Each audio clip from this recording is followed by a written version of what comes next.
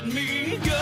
Hey, what's going on? I'm Anthony Prophet, and welcome to Taste of Music. Today we're going to be hanging out with Christian Kane. He's an awesome country artist, and he's prepping up some great food for us here at the Hotel Indigo. He's upstairs in our penthouse suite. Let's go check him out. Come on!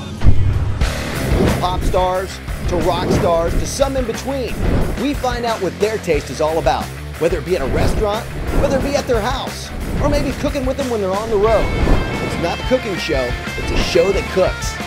This is a taste of music. Hey, what's up? It's Anthony Prophet with Taste of Music with my friend Christian Kane today. How you doing, buddy? what are you doing? Boom! Here we are. Oh, wait, wait a second. Here we go. Cheers. Man, it's time. It's time. We've got some serious action we've got going on here. That's right. I started a little bit. I just Yeah, you're a man with a knife and a man with a plan. So tell me, what are we making today, Christian Kane? I'm gonna make a jalapeno goat cheese stuffed grass-fed sirloin burger.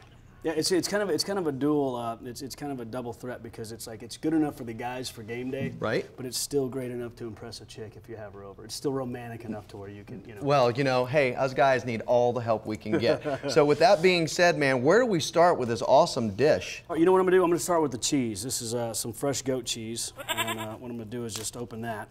Now, goat cheese, you can't, for this particular dish, you can't just use like a ball of mozzarella or nothing No. like that. You've got to get goat cheese for You can't. That's you part of the name well, of the it's dish. perfect. It's perfect consistency because it's like it's not too. It's not going to bleed out on the grill. It'll keep that there. Okay. But it's not like mozzarella, to where it'll just uh, it'll end up just falling. You know, just like staying in a ball Right. and, not, and not being correct. You got to worry about leakage out of the burger, and then you Sure. also because so it has to stay in. But you don't want it too tough to where you bite in. It's still mozzarella cheese, which never really, you know. Now, when you when you go and you prepared this dish, I Mm. mean, goat cheese is not something that everybody's familiar with. Can you just buy this at pretty much any place? You need to find a specialty Nowadays, store. you know what? Five years ago, no. Nowadays, it's everywhere. You eat spicy? oh man, we got to go Okay, hot. Okay, you got go hot or go home. I like to I like to make it a little bit spicy, man. My mama was uh, born in New Orleans, and Right. So uh, and so that's just how it She is. likes a little zip I'm just to gonna it. I'm just gonna trust you with this. Know, Man, I like is- to take this and uh, uh, like that. Oh that's the boy. part of the pepper. Oh man.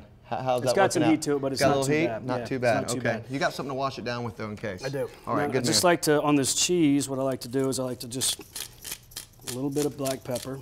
Man, the aroma right now coming off this with that, that jalapeno hitting that, it's really good. And then what I like to do, and it, this doesn't have to be, you don't have to get it just. You're eyeballing it. That's what I like to call eyeball. Eyeball it exactly. I'm a guy. you know Yeah, what I just mean? eyeballing. Yeah, I'm from the Emeril Lagasse School of Cooking. Here you go. Um, but I like to put that in there just to give it some color, you know. And then Yeah, you that's just, and then it's just like the burgers we're getting ready to make. You kind of got to get your hands dirty.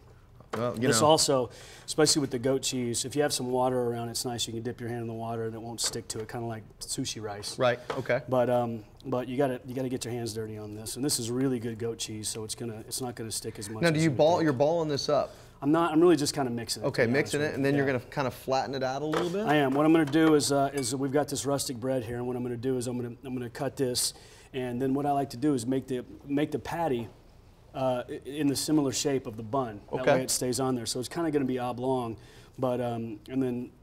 Well, I'll show you. You put this in the middle, and there's an easy way to stuff it. And then, Hey man, like said, this is all you. You're gonna show me. Cool. Now, this particular recipe was this something that mom taught you? How'd you learn this? I learned it by mistake. I was By cooking burgers mistake? and I had the goat cheese and I said, "What if I just did this?" Yeah, I shoot from the hip a lot. Can I borrow that? Yeah, you can have it, I shoot actually. from the hip a lot, and uh, and it's one of my favorite things to do in the world. I, cooking is my favorite thing ever. Awesome. And I, I love walking into a store and just like looking at, not knowing what I'm going to make that night, and just walking in with nothing in mind, and just start looking at the meats. I start off in the meat section and just find out what I want. So to it's make. it's a happy mistake. It is. You know, you, It really is no was. rules when it comes to cooking. That's the beauty of Taste of Music. We find out what the artist's taste is all about, and obviously this is your taste.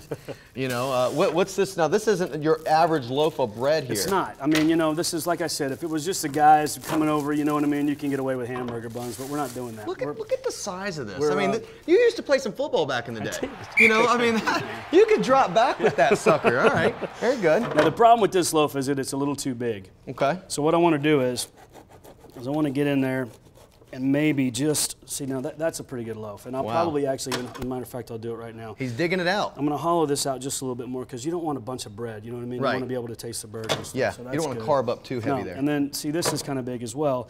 So I'm going to try to take I'm gonna take another level of that off. Now be careful with those fingers. You're gonna need that for the guitar, bro. Yeah, I know. You know that that, that you know you, you know management would be very upset at with Taste of Music if know we lost some fingers in this So process. people can do whatever they want with that. We'll put that over there. Okay, goes over I might hollow this out just just a bit Okay. too because it's a little bit a little bit big.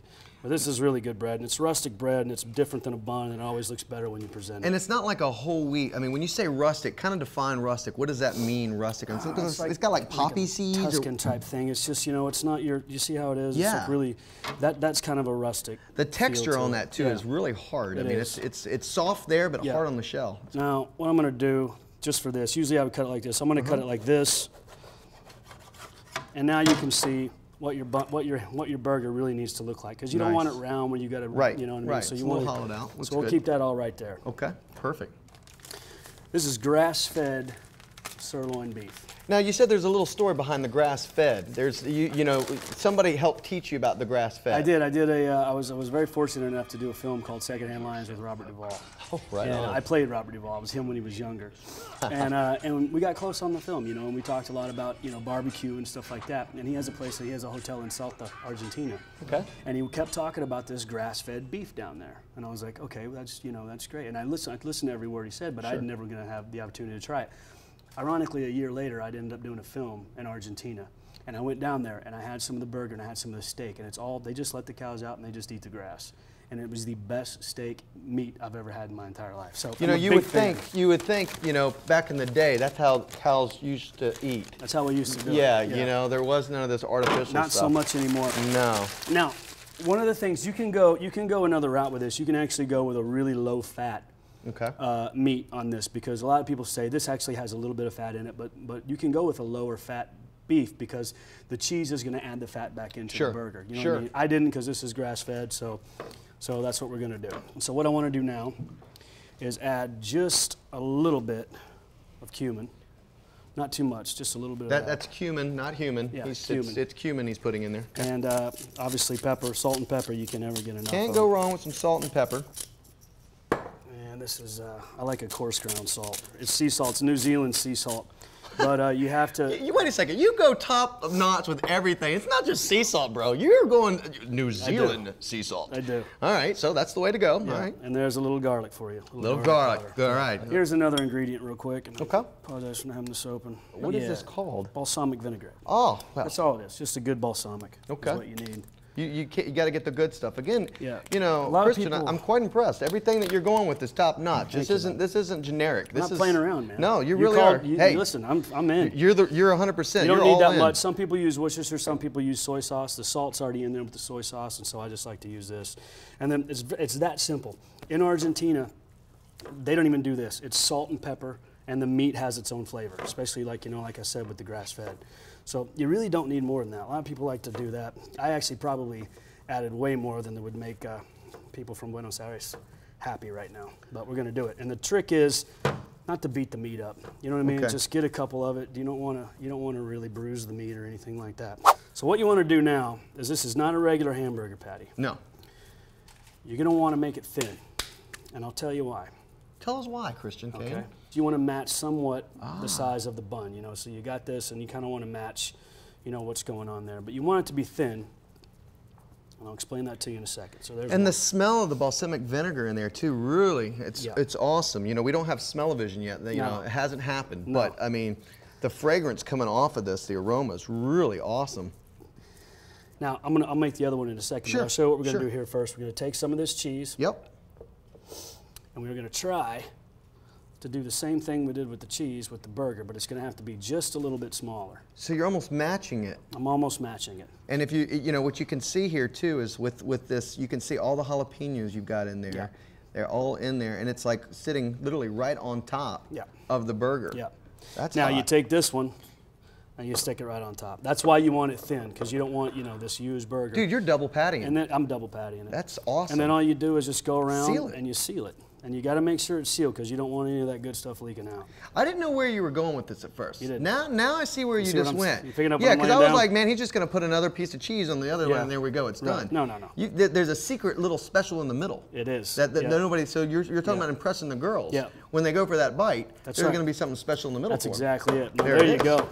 Now, that- these are for me and you, so it's Yeah, going right. to be. I'm, I'm making a man size. Yeah, those are definitely man size. That could scare the date away. Yeah, absolutely. But, that is, um, that's a huge piece of meat. There you go. All right, Christian, it's time. The real deal right here. You ready to do this? I am. Some people would use a spatula. I don't like to use that. I'm Nope. a real man. I'm just going to take my hands Look and at put you. them right there on the top. Oh, and the sizzle. And it sizzles, and that's what you want to hear Oh. right there. Boom. Oh. Ugh, nice. Now this is the bread. We're going to toast the bread in a second, but let the, let's let those things get Okay. going right now. Now, when you're on the road, obviously with the band and you know with Kane, you guys don't. Do you get a chance to do stuff like this? I mean, Ironically, I consider myself a, a, a self-made chef. My guitarist, Steve Carlson, is I actually went to culinary school for four years in Portland, Oregon. Okay. So we both. I mean, he is a chef. So we do this all the time. nobody has tried your goat cheese burger, and and you know you know you're going to be hanging out with some of your boys, and you say, hey, check this out. Yeah. You know, we talked about impressing the girls and stuff, and that's great. But the boys, I gotta say, that's pretty impressive too, because that was a, a these are manly burgers, baby. I mean, they're big, they're th- and the smell right now. I mean, we're talking inside. I mean, the prep was great, but this, Yeah. brother, this is can the hit- real Some deal. of the balsamic and especially some of the coarse sea salt will come up and hit you in the face, especially when you throw it on there for. Now you've you've been all over this great country of ours, Yeah. and you you've seen all sorts of different places. Do you have a city that you sit back and man, when I get into this city, man, this this place I love to eat at. I do, and it probably would be the the, the most. Uh, it would be the last place in the world you would think. Chicago. I Chi-Town. love Chi-Town, man. It's one of my favorite. As a kid, I don't know why. I saw a couple of movies and I did some research and I and uh, and I wanted to move there when I turned 18. As a kid, I don't know why, and I have no idea why. But I've been so many times, and the food in Chicago is unbelievable. Now, I can't I can't take away the fact that I live in Portland five months out of the year filming filming Leverage, the television series. Right. Portland has some of the best food I've ever I've ever seen. Great restaurants, unbelievable wine. Oregon is almost to the point where they're going to start giving California a run for their money on, on wine. Okay. Yeah, so uh, so it's it's it's really a, a great place to live. It rains a lot, and you know sometimes the depression sits in, but then you eat your way out of it. So there you go. There there therein lies the food. Oh, look at this. Yeah, we're gonna have to flip these. All right, it's just to see. I believe it's time. Yeah, it's sticking Oh, it's just time. a little bit. Yep, Let's yep. flip them. So I mean, you just flip these things, and I mean, if you look at it, I mean, this is uh, looking really They're, good. they're- yeah, they're, the gonna- they're, they're gonna they're gonna be flipped again. Just the most important thing is. With a lot of the burgers, you don't want to flip them too soon and stuff like this, but you really with this, you don't want some of the cheese to start because that's when you get a lot of spillage. Is when you leave it on one side too long with the top not Right. cooked. So in this in, the, in a situation with this burger, you want to flip it a couple more times than you normally would with a burger. Most people say don't touch the meat, but with these, you don't want it because it'll start leaking out of the top. And, and the cheese, man, I noticed that when you flipped it, there was no oozage. No, there was no some- spillage on the cheese. it's important to seal the cheese. The, the cheese is sealed inside that Yeah. burger, Christian. Yeah. If people didn't know when you were preparing this, it's a little secret surprise. It's It like the little, you know, it's like the little toy in the in the in the Cracker Jack box. It is. When they bite It's a- into it, it's a truffle. It is a it. It's a burger truffle. Would you look at that? There you go. you got a little burger truffle here. Yeah. Now, have you impressed any young ladies with this particular dish yet? I have. I impressed one. Yeah. Yeah. She, and she didn't know. It's actually become our burger. It's y'all's burger. It's y'all's burger. It's y'all's burger. Yeah. So when y'all get together, she's like, "Will you make me that special burger, baby?" Yeah, I made this for her, and then she made it for her family, and I and I and I. The rest is I- history Yeah, almost. yeah. I'm All still right. trying to, you know, win some points, but uh, that one that one got me at least ten. You got ten on that one. I got ten on that one. Wow. Hey, you think these are about done? I think they're done, man. All right. Let's check them out. Oh yeah. Oh, look at that, Look at man! that. They almost like rose up a little bit. Yeah, They're plump. yeah. That is a You've got plump looking- burgers. wow, those look awesome. Oh, so beautiful. Wow, my so friend. beau- Now before you put that back on, Okay. Let me throw these down real quick. All right, let's just Um, set put those there. right there, yeah. and let's uh, let's just go ahead and throw these on the grill real quick. Now, did you put some cheese on there too? I did. I put just a little bit of Parmesan. This wasn't really in the um, in the original thing, but I just I love to have a little bit of Parmesan in So there. So that's what we call a Christian impromptu. Yeah, it was an impromptu. Nice. A little well bit of done. butter, a little bit of red pepper, and uh, just a little bit of garlic. Uh, Just- just a garlic hint. powder. Yeah, Just a hint. because you don't want to overpower that. And then you just want to get them down in there, and uh, it shouldn't take very long. And you know what I like too? That you put them on top of where the burger was. Yeah. So some of that Oh, yeah, flavoring is going to come back in there. the- some of the fat from the burger comes up into the bread. Man, these things just smell so wicked good, Christian. and I mean, and this is something that basically going back to basics. This is something that you just whipped up one day. I shoot from the hip when it comes to stuff. And like this. experimentation with food is a good thing. I mean, some things you don't want to experiment Yeah. with. Food sometimes they're happy mistakes. I just don't believe in it. I just, I, I really honestly believe in walking in and create. It's an, it's an, it's an, it's art. You know what I mean? And if you love something, like I love these, so if you love something, make it again and again and all that kind of stuff. But every once in a while, get out there and experiment. It really is art. And if you paint the same thing every time, you're not an artist. That's just what I'm saying. I agree, and I think also what you can do, you can always contribute more to the art. Like somebody Yeah. might see this and think it's great, Yeah. and they like it, and more than likely somebody's gonna basically Hey, imitate your recipe. listen, but they might say, "Let's add a little this," or "Let's put a little this." And that's I like the whole thi- thing about it. And take it and do that. And that's what I love about, you know, I've stolen from so many chefs, whether it be Bobby Flay or Emeril Lagasse, or, you know, all those guys. I've taken exactly their thing and added one little other thing, and it Right. made it mine. Made and it there's yours. No, there's no rules about that, and that's what I love about cooking. Is just, it's that's one of the things why I think it's even better than art is because there actually are no rules. Well, know, and unless it comes to baking, and then you know, and that's what. Yeah, and there's I- some and I'm, I'm a rules in from the that. hip Nah, guy, you're a shoot yeah. from the hip guy. Yeah. So what we need to do is we need to go check on those onions. Okay. We need to put these together. And let's eat. Let's eat. Christian Cheers. Kane, Thank cheers, you. man. Thanks let's go do some me. eating. You got it. Man, I love the Man, this looks wicked good, Good. dude. Yours is all set up. I'm just Yeah. going to show you how to top mine off real quick. Here's the caramelized onions. They just go right on top of the burger, just like that. And now, Those here's- things smell so good. This is really, and then oh. magic stuff. Just a couple more. That's all Now, if people That's didn't really know, if they were just catching on, what is the magic juice there? it's balsamic vinaigrette. That's right, Yeah. balsamic it's, bal- it's balsamic vinegar. I'm sorry, it's Okay. vinaigrette.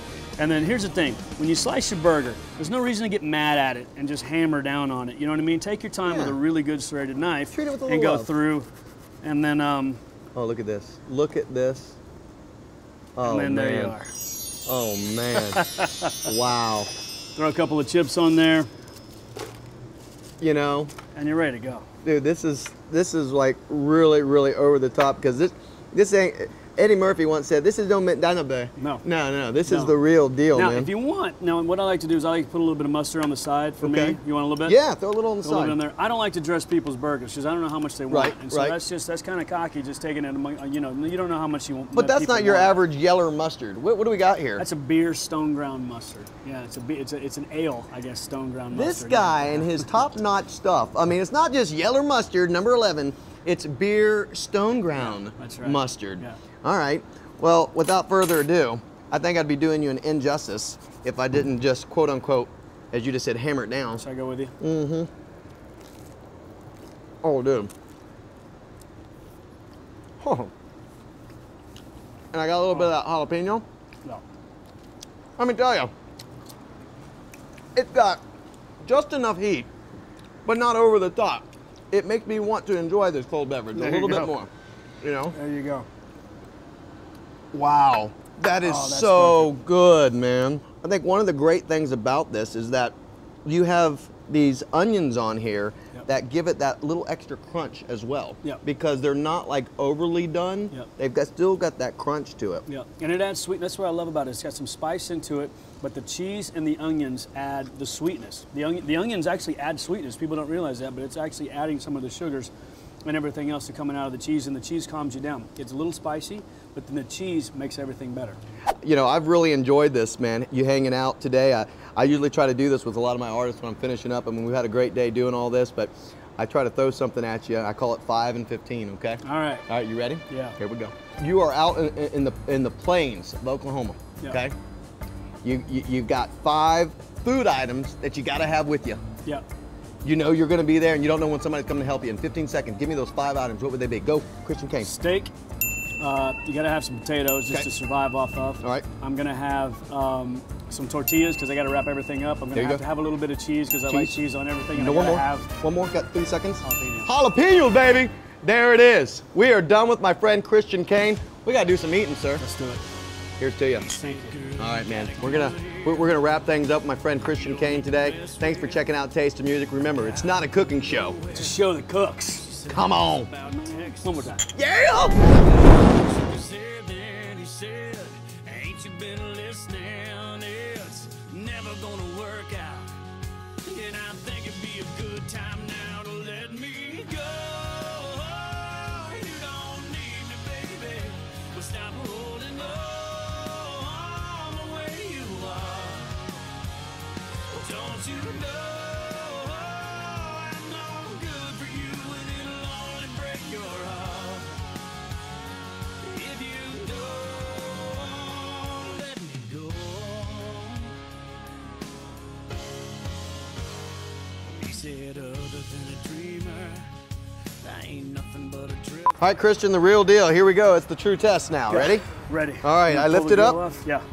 and you put them right on. Now, some people would use. Oh, that was. Oh, horrible. come on. Wait, wait, wait, wait. I just did it. The, I, Nice. I've been doing it the whole time. Well, we that's okay. It's all right. All right, now it's time for the real deal. Here we go, Christian. All right. You ready? Yeah, I'm ready. Now, some people would use a spatula. Oh, Jesus. He. What, David? The real deal. Oh, okay. Sorry. Thanks for catching that, Dave. I've These are- these are all I've the had- outtakes. I've had one beer. Just for the record, one beer. All right, Christian, it's time for the real deal here. All right, you, you've got the burgers ready. The grill is hot. You, ready? I'm ready. All right. Some people would use this, but God dang it, man.